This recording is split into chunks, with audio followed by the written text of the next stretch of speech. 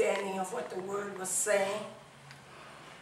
But you know, there's so many ways that people try to describe the law and to describe grace. Well, And you know, I don't think we can stop talking about it, just giving a little message here and there, and, you know, so that people can understand.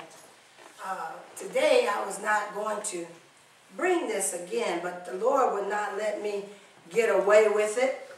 Amen. And He began to put more into my heart concerning the law. Hmm. Because see, a lot of people has a, have a lot of misunderstanding and a lot of misconceptions about what the word is saying. You know, and, and the thought I'm trying to get across to you is the fact that even though people say we, we're not under the law, we are still under the law. Yes, amen. And there's a many, many things that, that, that the children of Israel and that Moses spoke about is considered law. all right. Now, we're not talking about the ceremonial laws Uh-huh. because Jesus already done that Right. once and for all. Amen. There ain't no more lambs to be slain and blood to be put up on the altar and all of this kind of stuff. Those are the ceremonial laws. Those were done away with, amen, after Jesus came. Amen. But God's law is God's law. Amen. That's. It's God's will for our lives. So how can you say uh, that God's will for our lives has been done away with? He has not changed his will for you, for mankind. God's laws is God's will. God's laws is God's ways. Are you following me? Amen. And we need to understand that. And stop running around here talking about, amen, that we're not under the law anymore, we're under grace. Which all of that's true. But you got to understand this deeper than where you're going. You can't just say we're not under the law anymore, we're under grace because there's more to it than that. Amen. That's true. And, and I'm going to break this apart so you can understand. So the next person that comes to you and tell you you don't have to keep the Ten Commandments. Now I'm talking about the Ten Commandments. All right, I ain't talking about the ceremonial laws, all those laws that Moses did. I'm talking about the Ten Commandments. How many know the Ten Commandments went from the Old Testament into the New? Amen. Works Amen. today too. Hmm? Did it not? Amen. So how can you say, if you're looking at the Word of God, that it was done away with after Jesus came?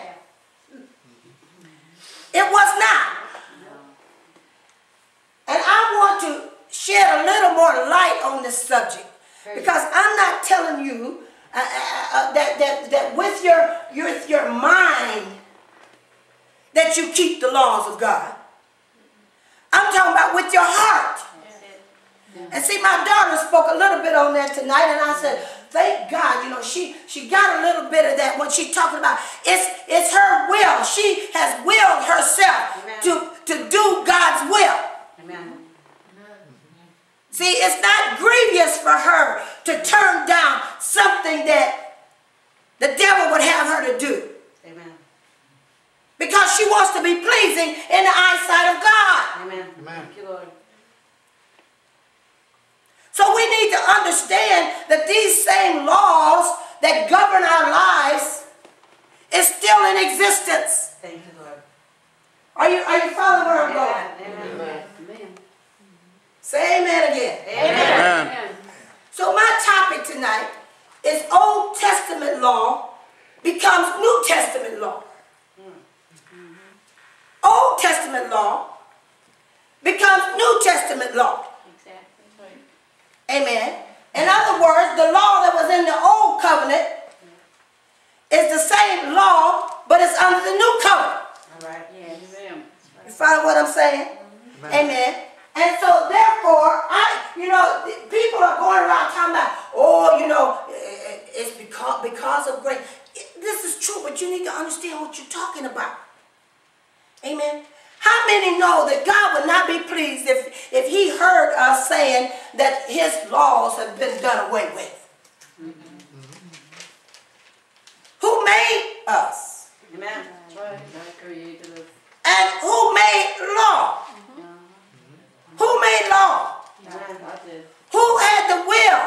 Who had the will for mankind? It was God. So how can anybody do away with what God created? God created law Yes, he did. to govern a people. That's right. Amen. He wanted to make you love him. He wanted to give you guidelines as to how to love him mm-hmm. and how to live your life that would be pleasing in his eyesight. Amen. Amen. Because man, it took one man, amen, that fell into sin to bring sin upon the whole world, mankind. Amen. When Adam fell, brought sin upon the whole world. Mm-hmm. And it took one man with the shedding of blood Yeah. to redeem us back to the Father. You forget him. But that one man had to be perfect in all his ways Yes. Amen. in order to pay the sin debt. Yes. That's right. Uh, that song, he paid the debt. He paid a, a, a, a debt that, that, that, that we owed, that he did not owe. Huh? That's right. right. Why? Because he loved us. Amen. So God had a plan. And this plan was to show the children of Israel in the old covenant how to walk right before him. Mm-hmm. And that's why he instituted the Ten Commandments. Mm-hmm. And I like to say the thou shalt nots. Mm-hmm. And but it didn't stop there. Because even before Jesus came, the children of Israel could not live up to the law. They were having a hard time being obedient to the will of God. Amen. Amen. Amen. And that's why God instituted the sacrifices to cover over their sins because he cannot look upon sin. He is too holy. He does not look at sin. So he instituted the priests to go into the holies of holies once a year and to kill a lamb and, and to spread the blood across the mercy seat to shed mercy upon the people for their sins. Amen. Amen. Amen. Still did not pay the sin debt. Because the sin debt could not be paid with, with, with, with, with animal blood. That's right. Mm-hmm. It had to be paid with spotless blood. So that he created himself a body. Mm-hmm. Made in the likeness of sinful flesh. How many know he looked like us? And he came down and he came, came into the world, amen, with sinful flesh. Because that sinful flesh was going to have to die on Calvary's cross. Amen. Amen. To pay the sin debt that man owed to God. Amen. In order to buy us back. Thank you, Jesus. Are you hearing what I'm saying? to you? Amen. I said, are you hearing what I'm saying? Amen. He had to buy us back. See, Satan had us. Mm-hmm. Glory be to God. Satan had us in the grips of sin, Well. and we had no way out.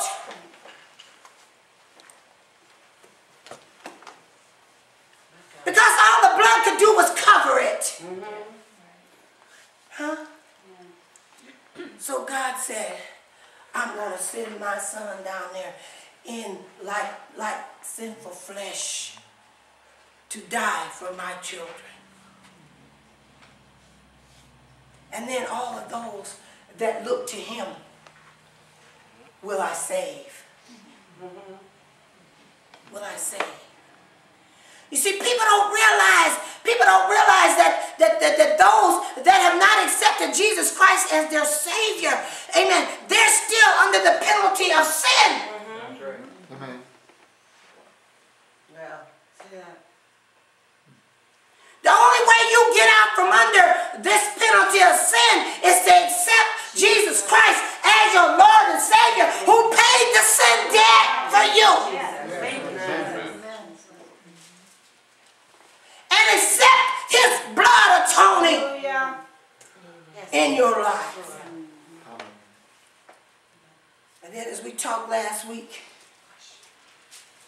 as Paul says, now that we have the grace of Jesus, we have grace. Does sin still abound? Do we still sin that grace may abound? God forbid. God forbid. See, a lot of people think, and, and, and this is true, a lot of them say they, they got saved a long time ago. And they got baptized. And they think they are still up under that grace when they've been doing some of everything ever since they went down in the water. And they think they're still up underneath this grace. Because they're thinking to themselves that because Jesus died for our sins, Well said. I'm still okay. Not if you're in sin. Well said. That's right. I said, not sin. Because Jesus, because God will not look upon sin. And if you ain't got the blood covering, somebody say amen. Over that sin, hallelujah, then you're not under grace. Amen. That's right. Preach it. Gotta make it plain. Mm-hmm. Gotta make it plain. See, see, see, church, once you accept Jesus Christ as your Savior, then you are to live unto Him. Hallelujah. Huh? As He lives unto the Father, then you live unto Him. Amen. Huh? Amen. Am I not right? Amen. Did Jesus not follow in God's footsteps? Did Jesus not come to do the Father's will? Yes, he does. Then as Jesus follows in God's footsteps and Jesus got- came to do the will of the Father, then so should we follow in the footsteps of Jesus. As he leads me, then I will follow. As he leads me, I will follow. Yes. Amen. Hallelujah. That's why sometimes when I get excited over here, I say, can you, you guys see God doing some of these things people are doing? Can you see Jesus doing some of these things that people are doing and still saying they saved? Can you see it? Hmm? You need to learn to ask yourself, what would Jesus do? Amen. in this situation, what would Jesus do? Before you go out and do, what would Jesus do? Would Jesus be pleased with me what I do? Hmm? So we're talking about Old Testament law, and we're talking about New Testament law. You see, uh, the Old Testament law was the letter of the law. In other words, they were supposed to obey it to the letter. And it brought about uh, bondage and, and, and, and it brought about, not bondage in that sense, but to the point where uh, they had no way out of being able to be saved. It also uh, brought about condemnation because, listen, there's no condemnation to those that are in Christ Jesus. Amen. But before that, there was condemnation.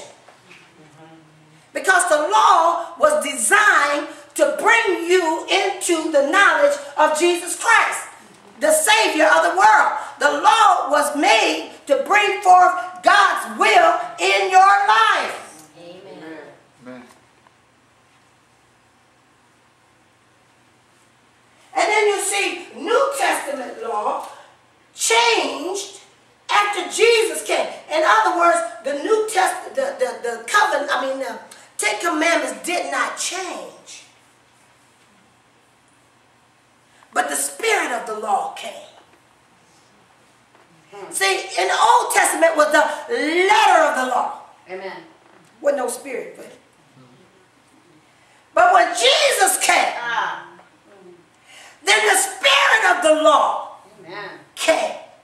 So then Jesus began to teach. He did not teach a new doctrine. He did, he did, he, he taught, still taught the same. But he showed the spirit of the law instead of the letter of the law. In other words, this is what the, the, the law really means.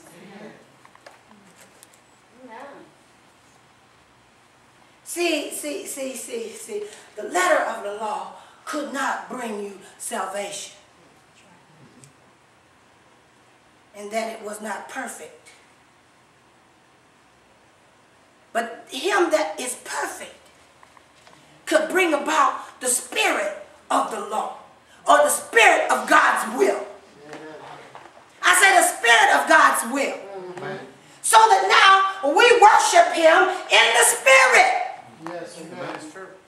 We don't worship him by the letter of the law anymore. We worship him in the spirit. Amen.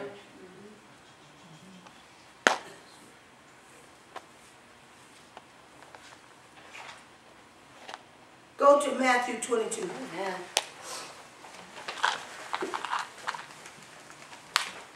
Matthew 22. Look at verse 37. Amen. Amen. Glory to God. Matthew 22 and verse 37 says, Jesus said unto him, Thou shalt love the Lord thy God with all thy heart, and with all thy soul, and with all thy mind. This is the first and great commandment. And the second is like unto it, Thou shalt love thy neighbor as thyself. On these two commandments hangs all the law and the prophets. Is that not the Ten Commandments? Mm-hmm. Yes, amen. Yep. On these two laws hangs all the law. Because the first few, as I told you last week, talks about your love for Jesus, for God. Love the Lord thy God with all thy heart, thy mind, thy soul. And the second, the next few, fall underneath the second commandment, great commandment that Jesus gave. And that is to love thy neighbor as thyself. How many know the Ten Commandments? Amen. Amen. I call them the thou shalt nots. Amen. When you start talking about what you should not do to your neighbor, if you love your neighbor, thou shalt not do this, and thou shalt not do that. Huh? Amen. Because that is the will of God for you. So are you telling me that God has, has, has, has done away with this? How many know he still has a will for your life? Amen. Jesus came and Jesus died for you to cover your sins Thank you, Jesus. So that the Father will never see them again.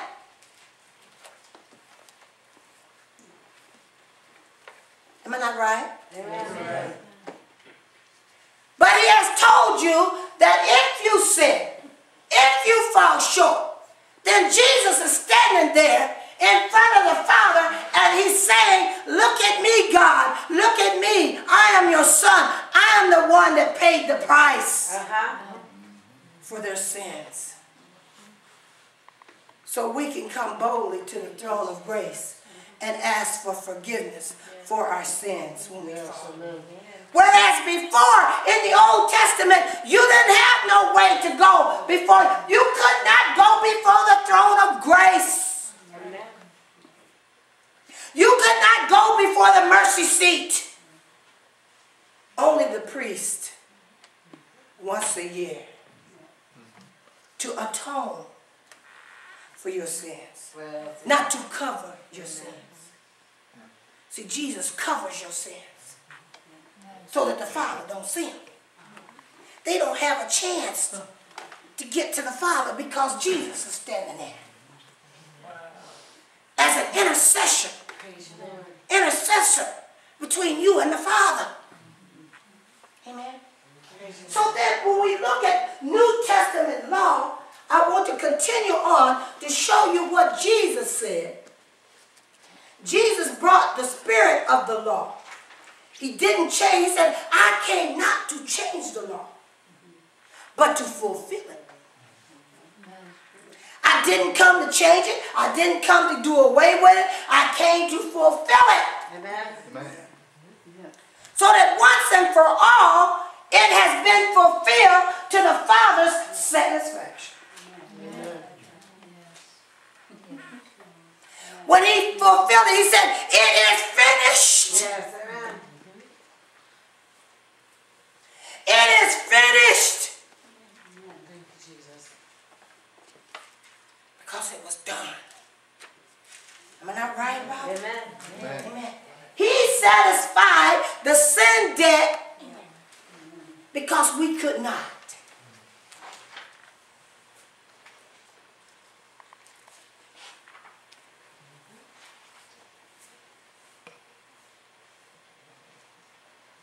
And how did he bring about the spirit of the law?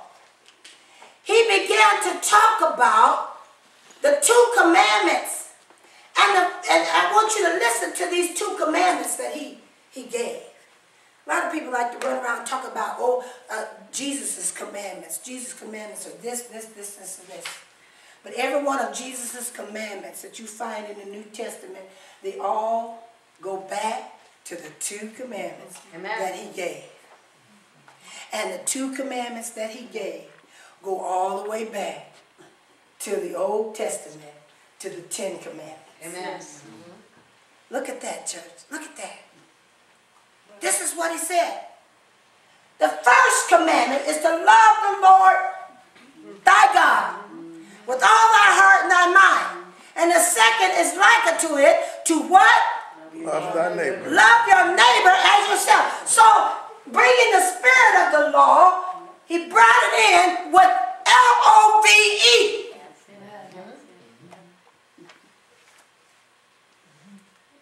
I said L-O-V-E. Yes. Amen. How many know that God is love? Amen.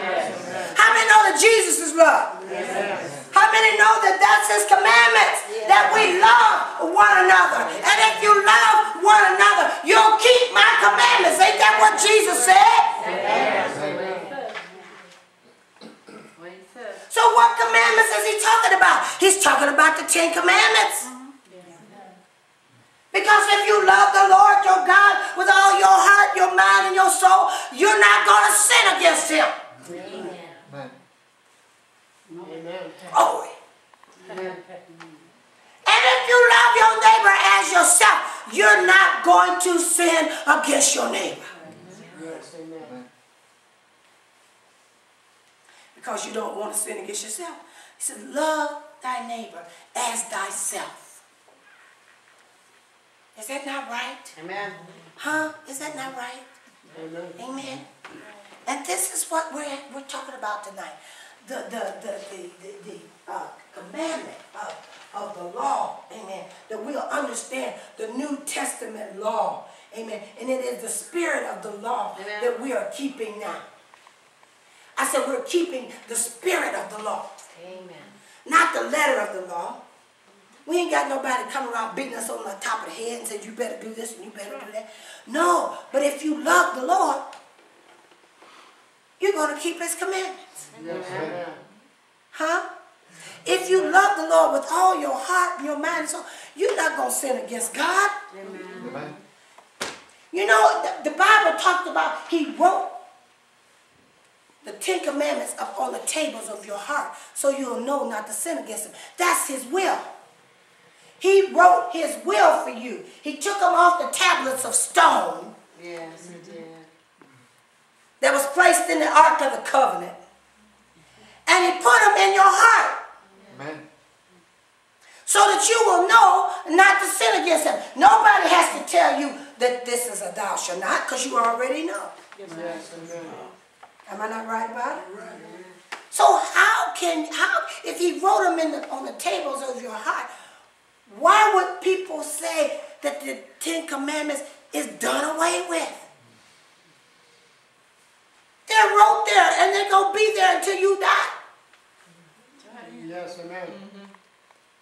So you'll know, know what? Know not to sin against God. You will know His will for your life. Somebody say amen. Amen. Praise him. And see, when we accept Jesus Christ as our Savior, and the Spirit of God comes in us, amen, He will convict us of our error of our ways. Amen. Yes. How many know Yes. that's right? Yes. Huh? Amen. And why? Because He letting us know you're going against God's will. God's commandments. Amen. So then we know that this is true. Amen. Love is the fulfillment of the law. Go to Romans 13.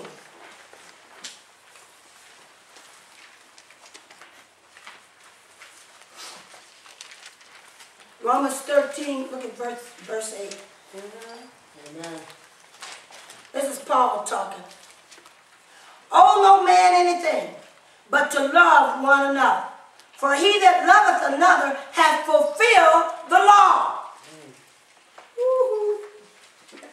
I said, woo-hoo. Is that not in the new covenant? Uh-huh. Yes. Was not Paul saved under the new covenant?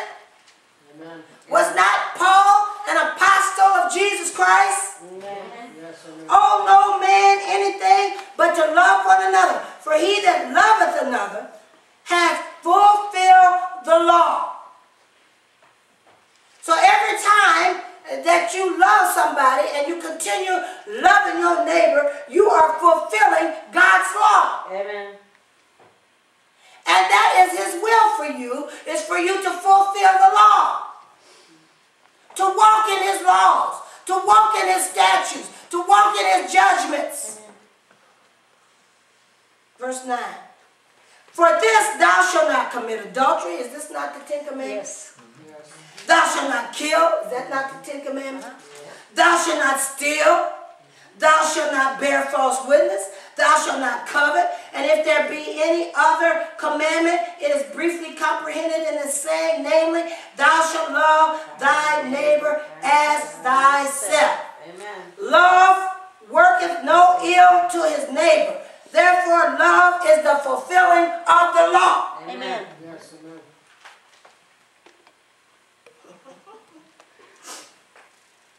So somebody answer me, are we to fulfill the law?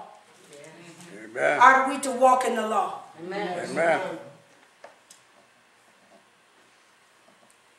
But we do it in what? L-O-V-E. We do it by love. That is the spirit of what we're doing. I've heard many people say when they come over here, they feel love over here. Praise God. Because we don't want to show no, no, no condemnation to nobody. We're not, we're not in the business of that. We're in the business of loving Amen. and teaching what is the will of God. Amen. We want to show forth love to, to those that come here. There may be some that come here and they may not be where you are in the Lord. Do you show them ill will or do you show them love? And you love them. If they stay, they stay. If they don't stay, it's on them, not on you. Amen. Amen. Your neighbors as yourself.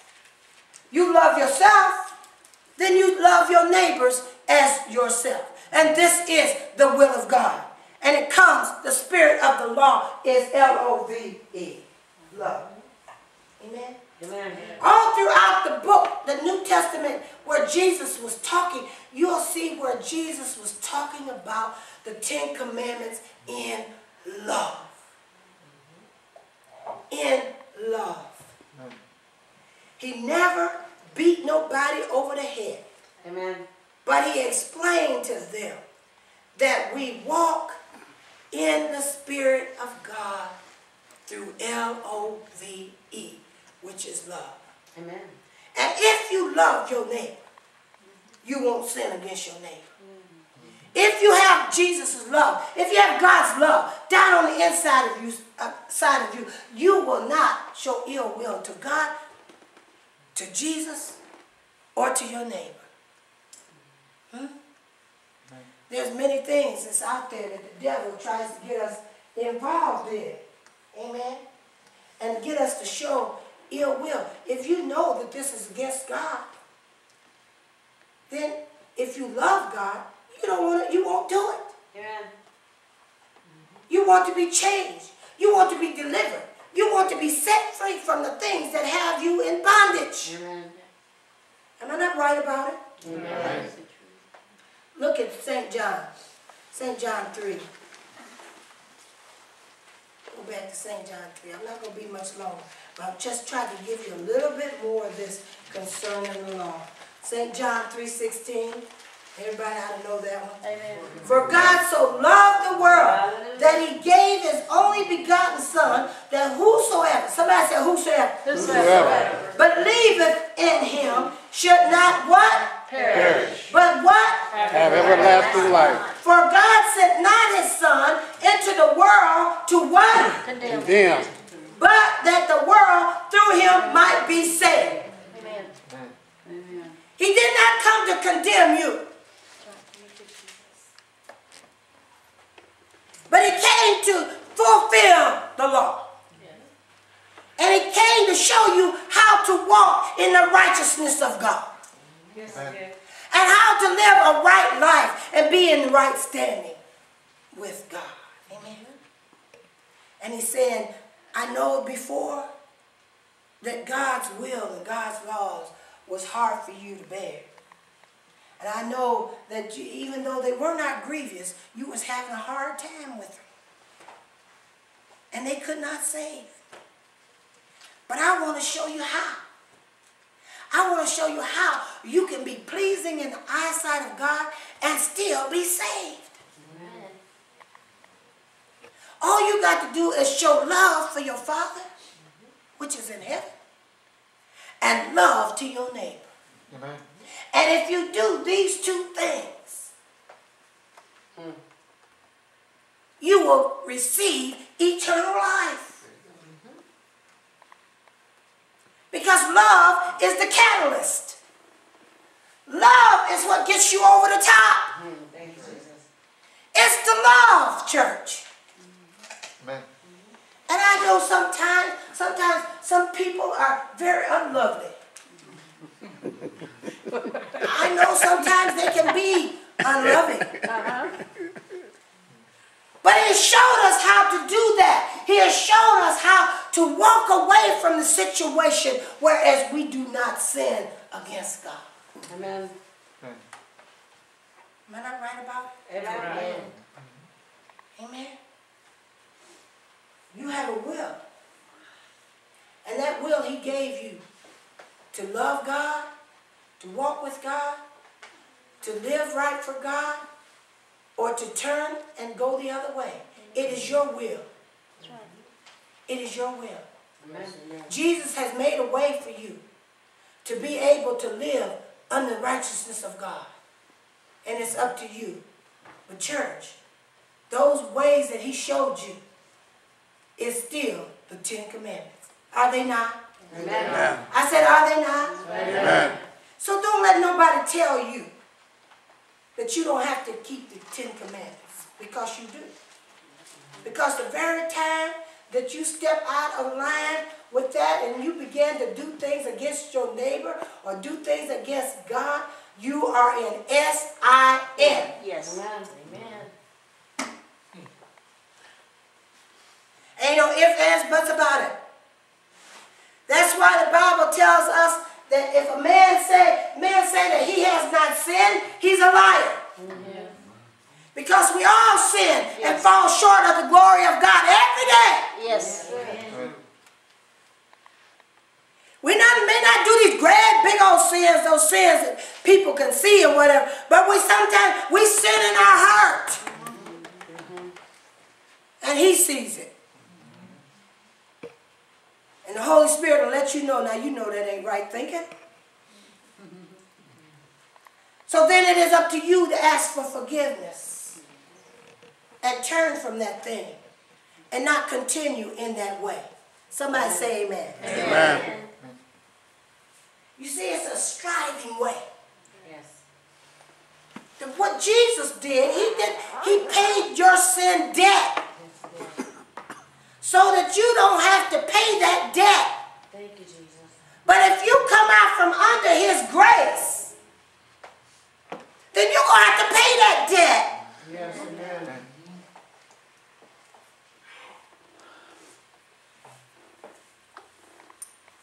And I know this, this message go out, it might rub some folk the wrong way. But you might as well get it in your, in your heart because it's in the word of God Yes, it is. that we do abide under the will of God. And the Ten Commandments is the will of God. Somebody say amen. Amen. Uh, I got another scripture for you. St. John, oh, I just read that. So go back to go back to Matthew. Matthew 22, I want to read it again. What Jesus said. Matthew 22 and verse 37.